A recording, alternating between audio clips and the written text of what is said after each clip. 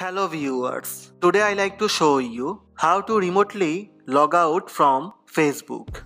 Let's have a look. First, launch Facebook app, sign in with your Facebook ID and password. After sign in, tap on menu bar on the top right corner. Then tap settings and privacy. Tap settings.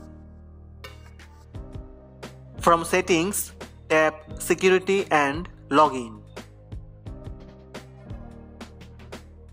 Where you have logged in, it will show your active device and previous login device. Tap on the device name and tap logout. In this way, you can remotely log out from Facebook account.